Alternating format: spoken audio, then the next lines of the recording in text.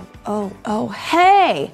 Happy Wednesday! Welcome to MASH on This, Mashable's daily culture and entertainment show that gives you tomorrow's biggest news stories today. Sponsored by Ally's Hardest Working Dollar.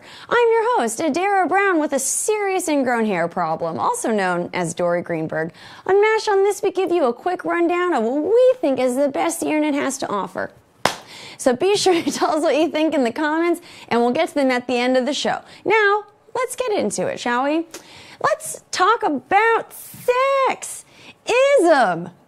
Baby, uh, it's not just all the rage in America. It's a phenomenon that occurs worldwide. And turns out our neighbors across the pond are just as sexist as we are. The BBC released a newly published annual report containing the pay rates of some of the network's on air stars. According to the report, the BBC's top earner, radio presenter Chris Evans, not that Chris Evans, the British one, is paid between 2.2 and 2.5 million pounds, more than four times the corporation's highest earning woman, Claudia Winkleman.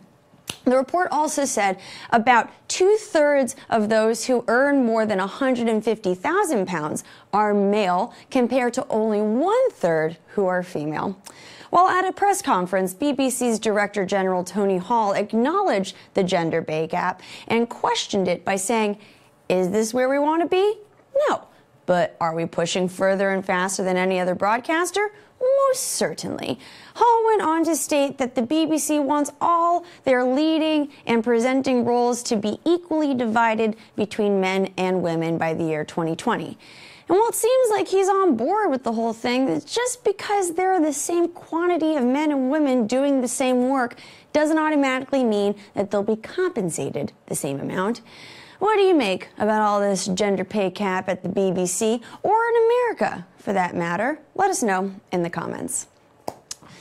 You know when someone is caught doing something wrong and they do that thing where instead of owning up to the truth like an adult or just staying silent, they aggressively make fun of the truth with the intent of trying to make everybody else feel stupid for believing it? Well, that's exactly what the Russian propaganda network RT is doing. These ads were spotted in Moscow's international airport recently, and they were deployed in order to troll Americans and mock allegations that the Kremlin interfered in the U.S. presidential election. The thing to keep in mind here is that these ads were not only made by the Kremlin controlled media outlet, but according to an RT spokeswoman, all of the copy for these ads were personally approved by Vladimir Putin. And when BuzzFeed asked to clarify whether this statement about Putin was a joke or not, the spokeswoman replied, Russians are not allowed to joke about Putin. I just want to, like, I really want to say, wow, thank God we don't have to be subjected to crazy propaganda ads like the Russians do. Then I was like, oh, our president still has a Twitter account and refuses to have normal press conferences with the free press, so I guess we're not completely in the clear either. Hmm. Let's move on from Russia to another part of the world Thailand. Take a look at this dude. Unless you are in Thailand or are Thai American, you probably don't recognize this YouTuber who goes by My Mate Nate. His real name is Nathan Bartling, and he's a millennial Mormon prankster who was a missionary in Thailand and then decided to make the country his home. The grand majority of his YouTube videos are in Thai, which he he's completely fluent in, and he's been profiled by the likes of the Huffington Post for bringing some innocence back to in- internet pranking. But Nate has also caused quite some controversy. Like that time he posted a video that essentially shames Thai students for not knowing English, and that other time when he filmed his cat fighting a scorpion, which is currently being investigated for violating animal cruelty laws. And most recently, Nate was arrested when he decided it would be fun to flatten pennies using a real functioning train that had people on it. In the video documenting this act, which has since been taken down along with the Scorpion Cat video and the Mocking Thai students video, you could see Nate and friends taping coins from different countries to a train track, which ended up leaving visible impressions on the tracks. For this, he was charged with trespassing, trespassing, and fined 100 baht, or about $2.90. Not a lot. But he could also face paying for damages to state property.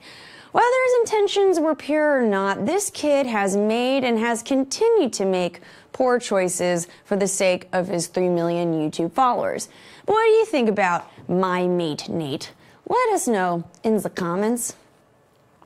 Every once in a while, New Jersey Governor Chris Christie will put on his favorite pair of elastic pants and venture out into the world, sometimes even going to public places where he's among people he was elected to serve.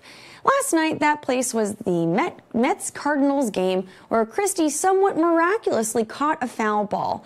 But despite his impressive one handed grab, the fans seem less than impressed. Take a look. 3 2, he's popped up. Rivera giving a, a, look at it. And a souvenir for Chris Christie. Are you kidding me? How about that? You just noticed him. You're, boy, are you hot, I'll tell you. You just noticed him between innings, and what do you know? He gets a ball, left-handed catch. Get That's out of here. Nice to see him get from the beach here to the ballpark. Yes, I very much enjoyed that beach singer at the end. Uh, so the video cuts out before we could really see, but it looks like Christie got up and gave the ball to a kid sitting nearby. Regardless, let's just chalk this up as a win for Christie, which are few and far between these days. Why not? In somewhat internet shattering news, Google is preparing for the end of searching. For some ungodly reason, the king of search engines is now introducing Google Feed, which means that now Google's search app on mobile phones will include a personalized feed with links about certain hobbies, travel, sports, celebs, and other topics. And you'll be able to fine tune your feed by clicking a new follow button that accompanies these search results. Basically, exactly like what we see on Facebook. However, Google's VP of engineering insists that Google is not trying to duplicate Facebook, stating, This feed is really about your interests, not about what your friends are interested in. Google Feed will suggest links based on your Google search history, as well as data from other Google services such as YouTube, Gmail, and Google Calendar. But as we all know very well, sometimes people Google things that they don't want showing up again, ever. For instance, I've been known to Google the right way to pop a zit, but that certainly does not mean that I want to be bombarded with pimple popper videos in my Google feed. Anyway, this update is rolling out to the Google app for Android and iOS tomorrow in the US and will be available worldwide in the next couple of weeks.